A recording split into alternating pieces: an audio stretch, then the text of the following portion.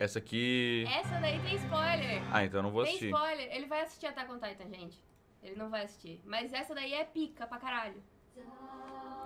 Essa é pica. Essa. Que tá em 60 FPS?